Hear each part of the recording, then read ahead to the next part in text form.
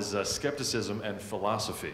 Uh, uh, let me get our little haiku. Hi, I'm a skeptic. Hi, I'm a philosopher. Really? Well, depends. Your moderator is uh, DJ Grothe. He'll introduce the rest of the panel.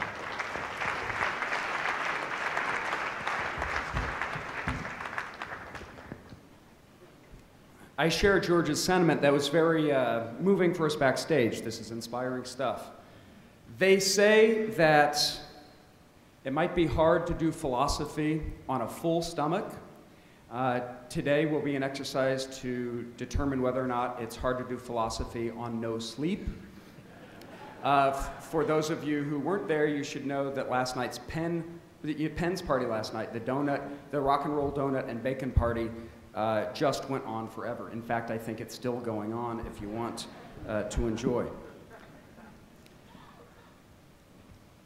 If you look at the history of this thing we call scientific skepticism, going back to the 70s when all of this started with Randi and Ray Hyman and Martin Gardner and then CSICOP, uh, you'll find a lot of scientists, uh, science journalists, even many magicians involved in the effort. But you'll also notice, if you look at the history, that there were, on occasion, uh, some prominent academic philosophers who've played a big role over past decades. This discussion today with our panelists aims to explore that relationship, the intersection maybe of philosophy and, and the sort of skepticism that we're talking about, what philosophy has to contribute to this work, if anything, and how philosophy can inform or maybe undergird our efforts. And, and maybe we'll have time to even get into some of the recent critics of philosophy coming from folks in science and skepticism, some prominent names. So I'd like to introduce our panel.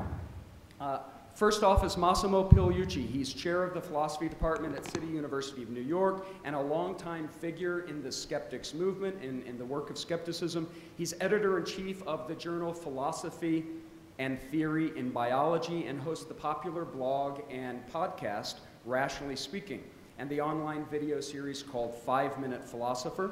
He's the author of a number of books, 12 books, including the recent titles Nonsense on Stilts, How, How to Tell Science from Bunk, and Answers from Aristotle, How Science and Philosophy Can Lead Us to a More Meaningful Life. Next up is Russell Blackford, an attorney and philosopher from Australia and co editor of the book 50 Voices of Disbelief.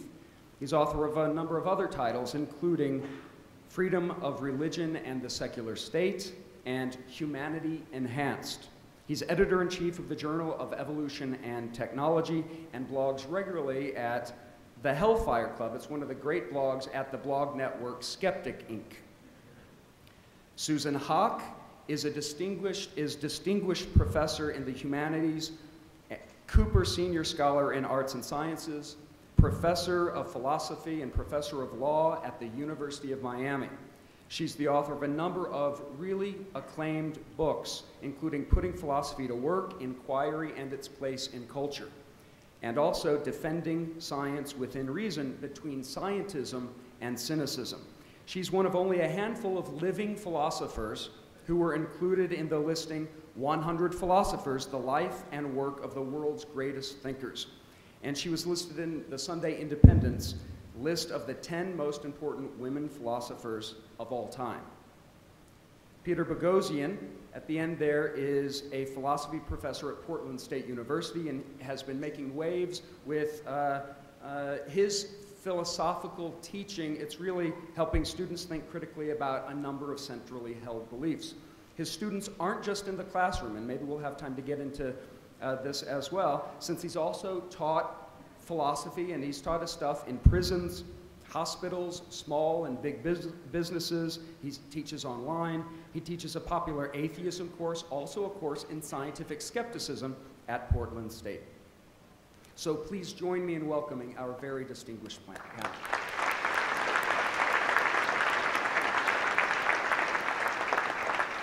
Okay, just to uh, be uh, begin the discussion, uh, events like this, there's a lot of talk of science and uh, critical thinking, skepticism.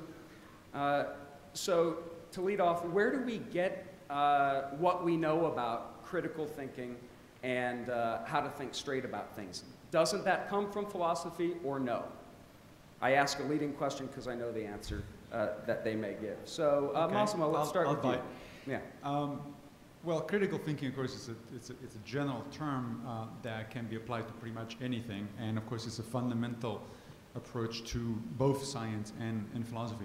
But as a discipline being taught actually in college classes and so occasionally in uh, high school classes, that's actually a branch of philosophy when it comes out. It's, it's, it, it's about uh, informal logical thinking, informal fallacies, and things like that. You typically don't get, I taught both introductory uh, science classes, introductory philosophy classes. You typically don't get that in introductory uh, science classes. You do get to critical thinking indirectly in science education, but usually much later.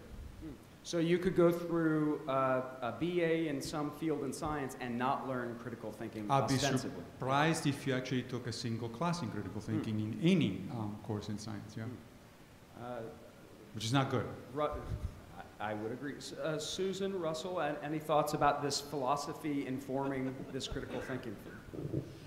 Um, o- okay, I'm, I think I'm a, a little bit skeptical about critical thinking. Um, there is, of course, something that we, call, we think of as thinking critically.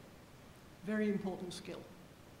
Um, I believe it's a skill that some people have to some degree naturally and other people don't. Um, and a skill that one acquires primarily by trying to figure out something difficult and discovering that it really is hard to figure things out and that there are complications that you might not have anticipated. Um, what's taught in many philosophy departments under the heading critical thinking um, enables students to identify some informal fallacies, a few formal fallacies.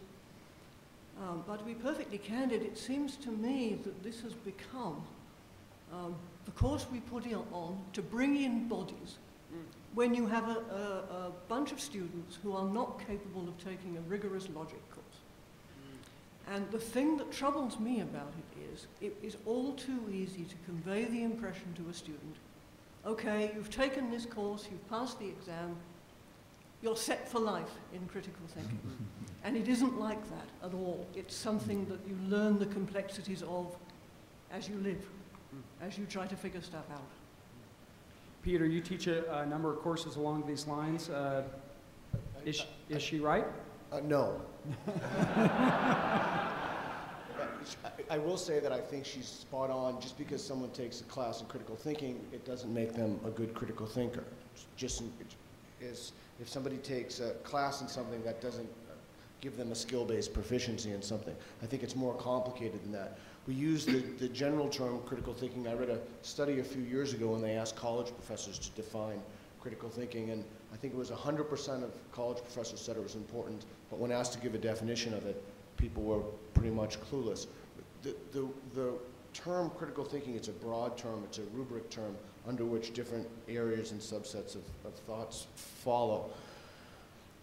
Each person brings something different to the discourse. I agree with what she said about, about trying to figure things out, but essential in that is that you have to have some kind of a feedback mechanism, some, some way to correct your cognitions, and we don't have that. And, and I think we don't have that the way that we've institutionalized philosophy as it is. That could be the way, that could be just a, a function of university architecture, how we've uh, institutionalized critical thinking. But there has to be some kind of mechanism to correct students' thoughts, and the way that's institutionalized in education, it's very difficult because we're so focused on assessments. For example, Massimo came and spoke to my class, and he had, he, he you can ask him, he's at the, at the end of the panel. He teaches, don't know, how, how many students a term do you teach? Of about um, 20. Yeah, I, I teach almost uh, 280. So it's very difficult in those sorts of lar designated large classes to really hit critical thinking core objectives to, to help people use those tools once they leave the classroom. But I think it's definitely possible. Critical thinking is a very wide area. It, it includes informal logic, as Massimo said, and I think courses in formal logic and informal logic are very important. They're a very important foundational part of the philosophy curriculum. But critical thinking goes way beyond that to include analysing our concepts, trying to get our concepts straight. That's not something you can teach in one unit at first year level or whatever it might be at college or university. Philosophy is very largely about just trying to think through your concepts and get your concepts straight. A lot of our concepts are a mess.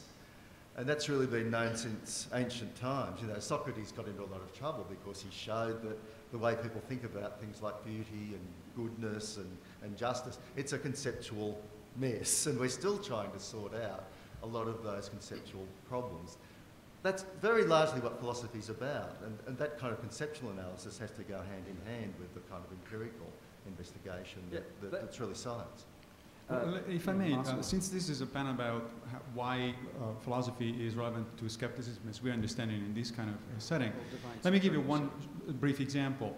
Uh, many people here probably are familiar with several so-called informal logical fallacies, right? Appe- Appeal to authority and things like that. Um, but I noticed, for instance, that in the skeptical literature, um, more and more often these, these things are thrown as generic weapons against anybody who says anything that we don't like. Oh, that's just an appeal to authority. Well, wait a minute. If the authority is actually reliable, like if I'm, if I'm telling you that I accept climate change, for instance, because there is a large consensus among the, the relevant uh, uh, um, group of, of, of uh, experts in the field, yes, in a sense, I am in fact appealing to authority, but this is a reasonable appeal to authority. It becomes fallacious when I'm saying, you know, I think that just because somebody says so, then, then this thing is true. So even skeptics themselves, although they've heard about these kind of things, often they, they misuse them, and that's, uh, that's something that we definitely don't want to do, and we want to be careful about using these kinds of tools. Uh, Just uh, to drill down a a bit more on this one topic before we move, move on, uh, if you look at some of the, let's call them the cultural competitors of the purveyors of undue credulity, right? You know, the paranormalists, the fundamentalist uh, religionists, et cetera.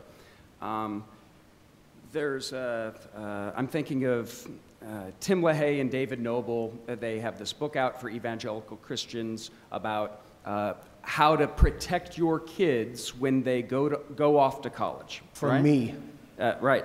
And, and in fact, one of the rounds of advice is whatever you do, don't let them take a philosophy course, right? Because if they take a philosophy course, they'll end up coming home on a break and not believe the truth anymore. So that's what I was getting at. You think of Paul Kurtz or, or other philosophers involved in this uh, skeptics movement um, and teaching for decades. Uh, isn't maybe it's sort of a faith claim, but isn't the idea that a freshman a philosophy student comes in and starts asking questions he or she might not have ordinarily asked about uh, uh, supernatural or paranormal beliefs at, at, at a very basic level? I, th- I think that's absolutely correct. And one of the things that I, I've noticed in my classes, we, I had mentioned in the breakout session that I've used Skype as a tool when we Skype people in to talk about various issues. And uh, many of the students have said to me, it's really important that please, please don't post this online. Don't record this because my parents don't know I'm here. They don't want me to be here. and so, yeah, and, and so it, that was very revealing and that was very interesting. And, and people come from homes of entrenched dogma and their parents don't want them to take these classes or they're afraid that they'll take a class uh, and not even the atheism class, the science and pseudoscience, and it will be on their transcript, and employers will be worried about that. So, so things that your parents, that you don't want your parents to know, sex, drugs, rock and roll, and philosophy classes. Yes. Got it. But you know, I think all of the academic disciplines tend to erode belief in the supernatural. Uh, one, one of the galling things, actually, that comes out of some empirical research that was actually done is that one of the things that most erodes traditional religious belief is exposure to postmodernism. You know, exposure to epistemic relativism, those kinds of things. Things that are actually anathema to me, right? I'm not supporting those things at all. But when students are exposed to those kinds of ideas, you know, truth is all relative, etc., etc., it, it does actually start to erode their commitment to any particular belief that they started out in. So even things that, that maybe are anathema to me in the academic curriculum can actually erode traditional belief. It's a, it's a funny thing. These things often turn out more complicated than you think. Yeah, it's an interesting question. Should we expose them to nonsense to disabuse them of a greater nonsense? Well, I think it's also a question how much they learn in the classroom Mm. and how much they learn simply from being in college, from being among, among other young people. A tad closer to the mic, but yes. Uh, Yes. So it's, it's not just the instruction, but it's the. I, I don't see that it's milieu. necessarily just the instruction or even necessarily primarily the instruction. And after all, you're away from home for several years and in a bunch of other people whom you might never have met. And that may very well be at least as important as anything that we teach in a critical thinking Right. class. If the philosopher, if the philosophe, Diderot said there's nothing like a Jesuit education to make you an atheist, maybe just going away to college uh, uh, will lead to some doubt because you're, you know, not under the roof anymore. So I, I think that's the point. Switching gears, uh, question, Susan. Um, folks here at this conference, uh, we call ourselves scientific skeptics, many of us, scientific skeptics as if science is sort of a complement given to the sort of skepticism we practice. Um, uh, question for the panel, but I'd like to start with Susan. Is, uh, uh, without drilling down yet into all these distinctions between the kinds of skepticism there are, there's academic skepticism, which is just uh, radical doubt of all knowledge, science is just one mythic narrative among, among many others, et cetera. Is this scientific skepticism, or is this just another kind of skepticism. Oh, goodness. Okay. I think the first thing I have to say is um, if I could abolish the honorific use of the word science as a kind of epistemic compliment, I would. Of course, I don't have that power. Um, so, what I do have within my power is to say plainly um, while the sciences, at least the natural sciences, are, in my opinion, one of the most remarkable cognitive achievements of the human race. You know, when, when I read um, what Watson and Crick did, I feel kind of proud to be human. um, nevertheless, there is bad science as well as good. And as anyone who specializes, as I do um, in my legal teaching, in scientific testimony in court, right, you need to be very well aware that there is very poor science as well as good science presented in court. And so using the word scientific as if it was a shorthand for epistemically good is actually a dangerous thing to do. I recommend against it. Hmm. Maswa? Uh, to follow up on that, I, I also don't have that kind of power that Susan wishes. Um, but um, I, maybe, I, maybe, maybe I could suggest an alternative that instead of referring to what we're doing here as scientific skepticism, uh, we should take a broader view and call it something like empirical skepticism. I mean, after all, what, we're, we're, what this kind of crowd is about is the critical evaluation of empirical claims of any sort, whether they arise to the level, lofty level of science or not, and, and, and whatever that level may be. We really are concerned with people that say the world is in a certain way, uh, and we are asking them to provide You're evidence. evidence. It's right? evidence-based, So it's, so not it's necess- empirical.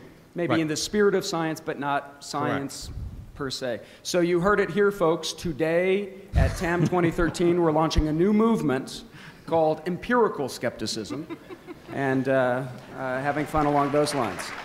It, it's, it's already I say trending that in on, jest, by the way. It's already Uh, trending on no Twitter. No one run with that. Yeah. Yeah, it's a funny thing. You, you might think if you did not come from this sort of environment that scientific skepticism would be skepticism about things that are scientific, right? It would be mm, skepticism about science itself, thinking that science is not what it's cracked up to be. After all, when we talk about moral skepticism, we mean skepticism about morality, thinking, yeah, maybe morality is an illusion, something like that. Scientific skepticism, I take it though, is actually skepticism about claims that are extraordinary or anomalous within our scientifically informed view of the world that we now have. But of course, there are claims by analogy where what matters is not the uh, in- information from science, but the information from humanistic scholarship. So, for example, the other day we were talking about skepticism about the identity of Shakespeare.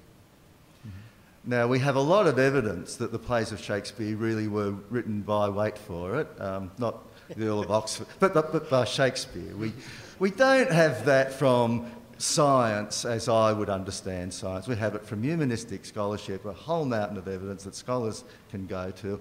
And, and by analogy, I'd say a claim like that is quite similar to the kinds of claims, such as homeopathy and so on, that fail against the scientific information we have. And So, yeah, you, you can, you can generalise. Right. You, you can have a and- skeptic movement that goes if- to all of this. if not homeopathy uh, particularly, but let's think Bigfoot or something. A lot of the analysis of Bigfoot, some of it relies on scientific analysis, but some of it's folklore and some of it's sort of cultural anthropology, uh, other things that you don't think of as uh, sometimes the hard sciences. Um, It's well, informed by empirical knowledge. Right, right. So it's evidence based. Okay. Uh, we were sort of getting into drawing some distinctions uh, in the academy. Someone says skepticism. They don't think Bigfoot ghosts. Uh, uh, they don't think, or ghosts of Bigfoot. That sounded like. Um, they don't think of the paranormal. They don't think of pseudoscience. They think of uh, a, a sort of radical, sometimes even denial that knowledge is possible, that science is just one mythic narrative am, um, among many others. Um, and uh, Massimo, is that where this um, opposition from some scientific skepticism, uh, some scientific skeptics, is coming Emp- from? empirical skeptics. Uh, empirical, exactly, yeah.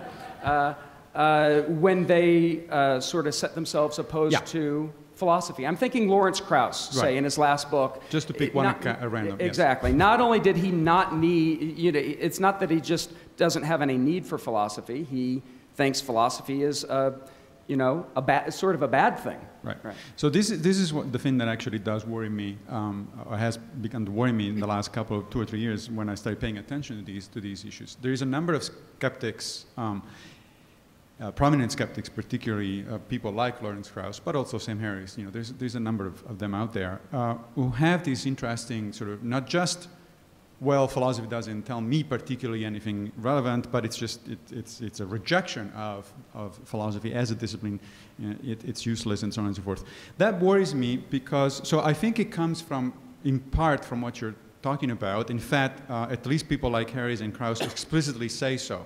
They are reacting against postmodernism, what, what we were talking about earlier, the, the, sort of the radical rejection that, that there can be any, any kind of, not that, that knowledge, scient- including scientific knowledge, is just a cultural uh, issue, and your, your, your understanding of, of science is just as good as my understanding of pseudoscience, and so on and so forth. Now, they are uh, rightly worried about that, but they, they seem to conflate that with philosophy in general, which is a big mistake for one thing. It's just in, uh, you know, factually incorrect. And also, they don't seem to appreciate that actually the best arguments against postmodernism do come from philosophers. Um, it's, it's not that you can refuse postmodernism on, on scientific grounds and empirical grounds, that you, have, you need philosophical arguments, and those arguments are out there. Um, the other thing I think that, that is happening there is that um, people like Krauss, wh- who, I'm, by the way, I'm going to be debating on, on this very um, topic in, in uh, Ghent, in Belgium, in a couple of months, and with Daniel Dennett, so that should be interesting, and it's going to be, yeah, the video is going to be put out there, so watch out for that. Uh, but, you know, for Krauss, for instance, it's pretty clear to me that he has probably never read a single paper in philosophy or in philosophy of science, because otherwise he just couldn't be saying the kinds of things he's saying. And that translates to me into a, a very disappointing uh, form of anti intellectualism. I mean, this is an intellectual community. And I thought that we would, in fact, appreciate all sorts of intellectual endeavors as long as they're rigorous and well done within that particular field. So, science, if it is well done, philosophy, if it is well done, whatever else, mathematics, logic, if, it, if they're well done. And the idea that somebody who is a prominent member of this community, of an intellectual community, can reject out of hand, clearly without knowledge, an entire other field of, of, um, of inquiry, it's, it's bothersome, frankly. I, I could be wrong about this because I haven't followed that Peter, debate yeah. closely, but I didn't think that was the claim that he was making. I thought that the claim that he was making is that philosophy talks about uh, areas of what there is, metaphysics. So b- grossly oversimplified, epistemology is how you know what there is, and metaphysics is what there is, and what there is is in the domain of science, and philosophy ought not to encroach upon that. So I thought that was one of the points that had repeatedly come up in the debate. And, and with apologies, before we debate Krauss in absentia, uh, uh, we'll look forward to, the, to that debate. Uh, but yeah, I think it's a nuanced argument. Obviously, four or five sentences from Massimo won't completely flesh out everything. I, I do want to say Uh, one, one more thing. I, I think part of the broader criticism of philosophy is that it's become unhinged from reality. And so often the way that we institutionalize the discipline of philosophy, for example, I don't know any, like literally no philosophers, at, even at, at graduate levels in any program in the country that study, that, that are trained to do studies, mixed method studies, uh, quantitative, qualitative research. So that the discipline then, in a sense, we look at it as unhinged from reality and not based in, um, are not using its roots in empirical uh, data and studies, and, and that we train our thinkers to do that. So, I, I so you're disagree on that. Yeah. Um, yeah, Oh, Susan, so- go okay, ahead. look, Sorry, sorry. I'll, uh, uh, yeah, Susan, you want to jump in Okay, there? first of all, it's very important to distinguish philosophy as institutionalized and practiced in universities in the English speaking world at the moment from philosophy, the discipline. Right? Hmm. Um, I would actually prefer, rather than empirical skepticism, which is certainly an improvement, um, evidence sensitive skepticism, I think, would be the, the right phrase. Now, I see If encounter you- groups starting all over the country uh, for evidence-sensitive Yes. skeptics. Yeah. Now, if you, if you ask yourself what's the discipline to which it falls to explain what evidence is, what's its structure, what makes it better, what makes it worse, the answer is, I hardly dare say this word, epistemology. Um, Jonathan Rauch once wrote, if you want to empty the room at a cocktail party, just say epistemology. Uh, so if anyone wants to leave, okay. Um, the problem is that if you look in the philosophy journals at the work in epistemology, um, really relatively little of it will help you at all with those questions. But that's an institutional problem. It's not a problem with the discipline as such. It- Well, if, if I may, I'll Please. also in, in um, response, I, I- I'm not checking my email, I'm just making notes. Um, these, days, you need to be careful. Uh, it's sort of, in, in part to, to what Peter was saying, uh, I, I disagree. I mean, I know actually a lot of philosophers, a good number of philosophers, not a lot of philosophers, but a good number of philosophers who are very much involved, interested in, in sort of interfacing with other disciplines and empirical evidence. There's an entire new uh, discipline of experimental philosophy, for instance, that is essentially a mix between philosophy and social sciences, psychology, cognitive science. Philosophers of mind are very much interested in what neurobiologists are, have to say. Philosophers of science do different things, but some of the things that they do uh, very much interact with, uh, you know, biologists, physicists, and, and so on and so forth. But, but again, as, as Susan was saying, there is a distinction between academic philosophy and the, uh, the broader discipline. When we say things like, oh, philosophy is, is um, decoupled, much academic philosophy is decoupled from reality, however we want to define reality, well, that's true for almost any academic field. I guarantee you that almost any, any talk that you're going to hear at a professional science meeting is very much detached with real, that, from reality. It's about very, very tiny little things, very specialized things, because that's the nature of academic uh, jobs at this, at this point. I mean, you have to concentrate on very tiny little portions of a particular problem, otherwise, you're not going to be saying anything novel about it. You don't get to publish your papers, you don't get your grants, and therefore you don't get tenure, and you're dead. But that's, that would, it would be a mistake to say that science as a discipline is irrelevant, let's say, to uh, society at large, just because the 99% of actually published scientific papers are, in fact, irrelevant to much of what we do. That's a strong claim and fighting words for which we don't have time. But uh, Russell, Well, well, well I like it. Massimo's stolen some of my thunder here, but one, one point I was going to make was a problem we all face at the moment in our society, and it will probably get worse, is the extreme fragmentation of knowledge and inquiry. You know, inquiry in all the academic disciplines is getting more and more specialised. There are reasons for that, of course, but, but it's happening.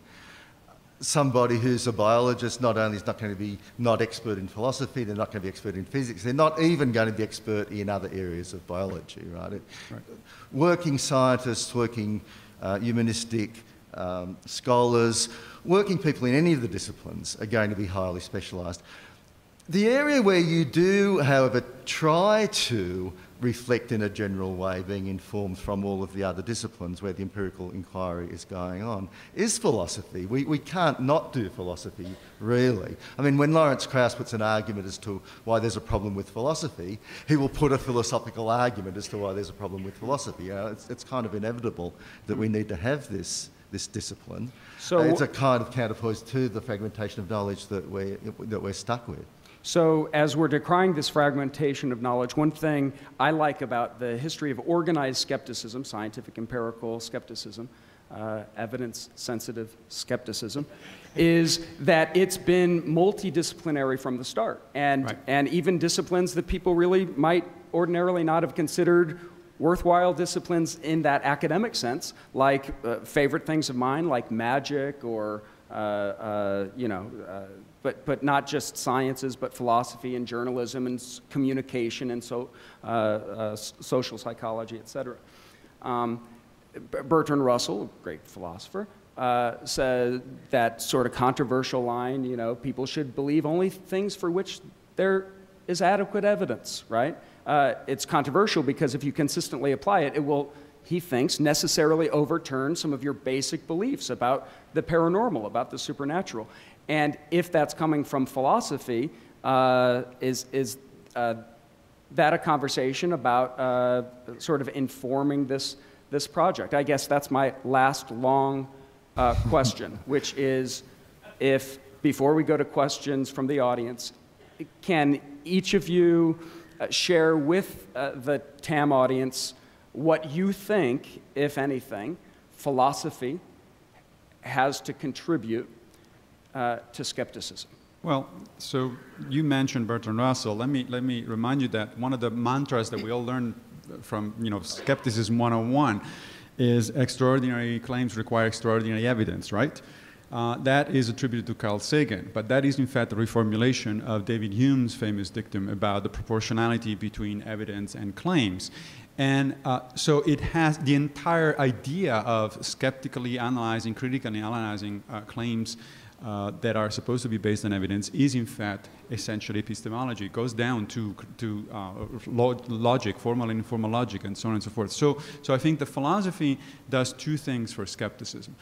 In one sense, it, it underlies all of what we do, because as, as Russell was saying, you, you simply cannot get in any interesting discussions about truth, knowledge, and all of that without actually doing, already doing philosophy. Or, or to figure out what science is versus pseudoscience. Right. That's and if you're already doing question. philosophy, Yeah. you might as well recognize that that's what you're doing and learning the tools of it. And the other thing that it does, again, as we were saying a minute ago, is it actually is, ironically, if it, it is accused often of being the, the, the detached from reality kind of field, but in fact, ironically, is actually the glue, the connection between a bunch of different fields. It is inherently interdisciplinary, unlike most of the special sciences. And so it's, it's not that we all need to turn into philosophers, just like most of us don't turn into scientists just because they're interested in, in, in skepticism or magicians. or magicians. Yeah, right, right. But it is an, an, a question of recognizing that there, there are deep roots and deep connections among the, these, these fields. Russell?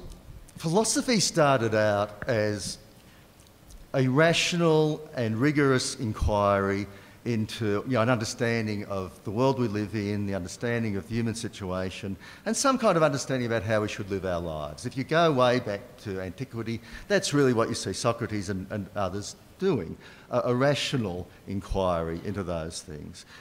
And because philosophy is that kind of inquiry, it historically has been sceptical about claims before they become extraordinary?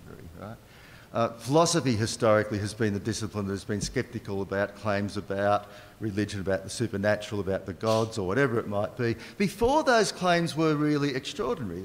Sceptical, inquiring into them in a rational way at a time when they were so widely accepted that you could understand why people just believed them without any, um, any question. And historically, you can see that going through, and historically, you can see science arising out of, arising out of philosophy.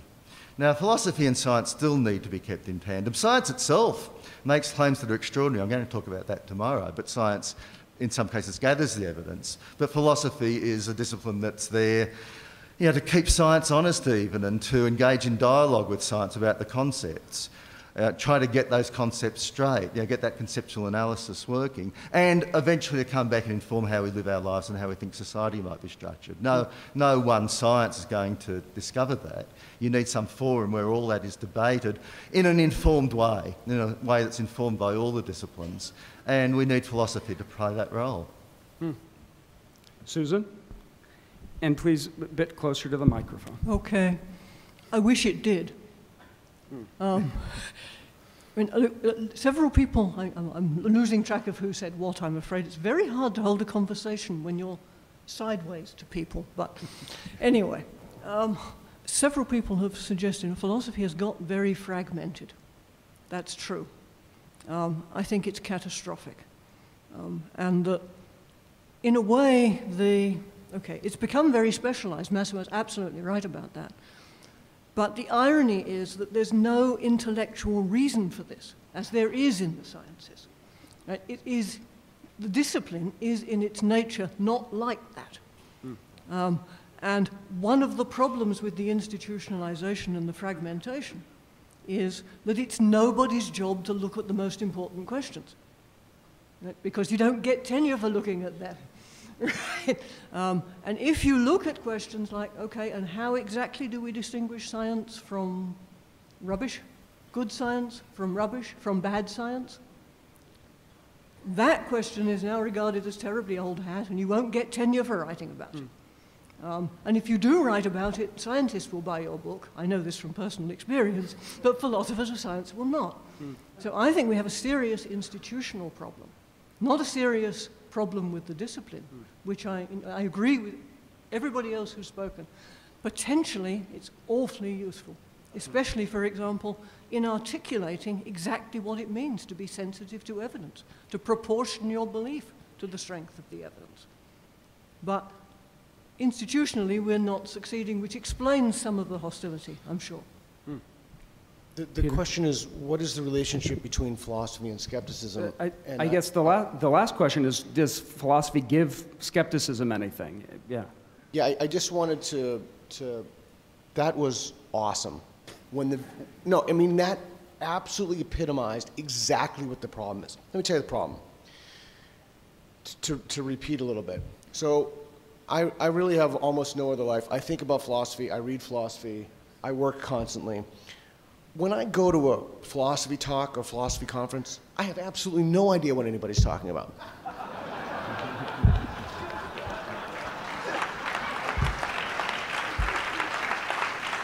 Yeah, and, and, and, and I think part of that is the way that we've institutionalized the discipline. And so it, it's, it's that people focus on unbelievably small areas. I mean, just minutia that is inconceivable that anybody would care about. And I don't think, yeah, but the problem is I don't think they care about it. That's the problem. The, the problem is that I, I think, you can have a re- re- rebuttal, absolutely. Let me finish the idea the problem is that you need to get, you need, the way that promotion and, and tenure committees work is that you need to do that. And what's amazing to me is that when I go to these things, I see everybody sitting there nodding. And I think to myself, come on. like, you really understand some unbelievable esoterica that somebody's talking about, about a sentence in a, in a fragment that we have from the pre Socratics, and, and everybody's like, you know. So it's possible that I'm completely clueless and then I'm the only one, you know, or it's possible that a whole bunch of people are pretending to know something they don't know. Yeah. Okay, so, So, I, I'm sorry. la- I need, last re- last I need to response, say and then we'll go to questions. Can I just, just very quick, so bottom, uh, bottom line, I think that what philosophy gives is the possibility to live a life free of delusion. I think philosophy at its best, when it's taught, will give you tools to differentiate reality from make-believe land and use that in, in a very practical way to imp- improve your life and the life of your community. What I was going to say is that I, don't- I don't actually disagree at all with both what uh, Susan and, and Peter are saying. That is exactly the feeling you get at an academic conference in, in, in philosophy. Although, again, let's remember the distinction between academic philosophy and the discipline itself. Where I'm disagreeing, and, and this is maybe because I've been, I'm a latecomer to philosophy. You know, I was, I was a practicing scientist for 25 years, and then, you know, my midlife crisis led me to philosophy. Um, but, of all things. Um, But you know that is what, what they just described is exactly the same feeling I had whenever I went to a science conference. Most of academic science is done exactly in the same way. Most of the time, you hear this guy talking about something, you have no idea what it is because it's not in your narrow area of expertise. Uh, you don't know what the significance of it is. It's probably a, just a tiny little bit of thing that is going to get him a, a, publication that is good for tenure. This is the problem with the academy in general. It's not just philosophy. Uh, you know, when, when you are in one discipline, when you practice philosophy, you, you, you're uh, worried by these things. My God, what are my colleagues doing here? But if you move into another discipline, that's exactly what you'll see. And I'm, I'm bet I haven't been at uh, conferences on, I don't know, psychology or literary criticism, but I bet that that's exactly the feeling that academics in, that, in those areas in, have the humanities well. as well. Well, well it is Russell, yeah, quickly. Yeah.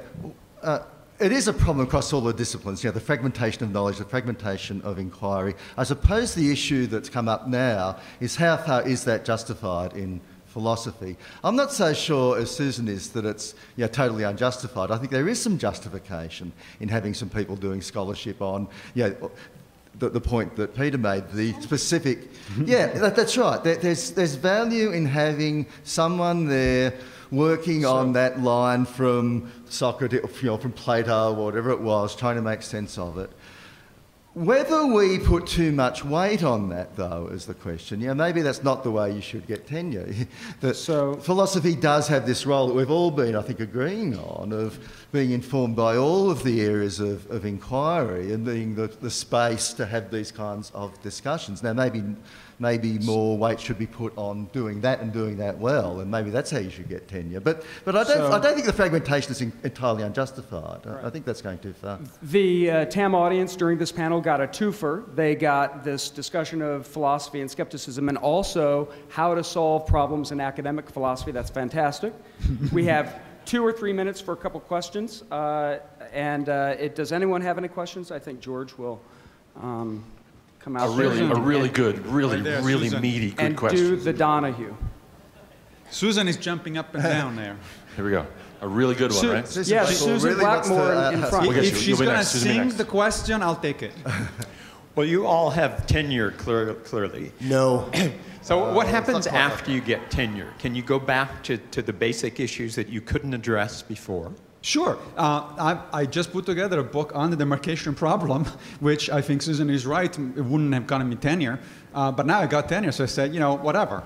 Um, that, is, that is, I mean, tenure has, you know, we could have a whole long discussion about the, the good and the bad about tenure. But one of the good things about tenure is exactly that, that to some degree it does release you uh, into doing whatever you, you, you like. That is, by the way, ironically, less so for the sciences than in philosophy. Uh, again, I've been a tenure professor in the sciences, and even after tenure, the pressure is very high on you to keep getting grants. Mm. And getting grants does still require doing very narrow and very, um, uh, uh, you know, un unexplorative kind of research. Uh, National Science Foundation funds only stuff that they think it's going to work. Great. They don't, they don't go for the esoteric stuff. If you're outside of sciences, on the other hand, you don't have that kind of hard, uh, a lot of cash like that, then you have more intellectual freedom, I think. We have time for one last one question. Susan. Blackmore. I'm glad we don't have a tenure system like that in England. Um, Susan, you uh, mentioned how um, proud you were of the science of Watson and Crick and, and uh, what they did. Um, the feeling was not mutual. Um, I interviewed Francis Crick just before he died, and he said, Oh, philosophers, it's a load of rubbish. What use do they ever? What philosopher has ever discovered anything worth having? And under some pressure, he said, well, maybe they do help us to ask better questions. Um, would any of you agree that you do that, or indeed that that's the only use you have for scientists, great scientists like him? Gosh. Um, well, of course, you, you know the line. Um, philosophy of science is about as useful to scientists as ornithology is to birds. um, it's, it's Richard Feynman, I think. Yeah, um, Richard Feynman. But before yeah. you go ahead, I, that's a great line.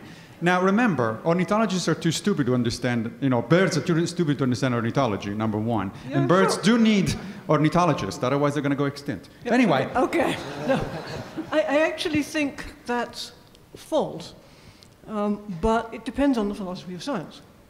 Um, I think some of the best philosophy of science has actually been done by philosophically thoughtful scientists. I'm actually an admirer of Thomas Huxley's, for example. I think he has a lot of good, good sense about how the sciences work.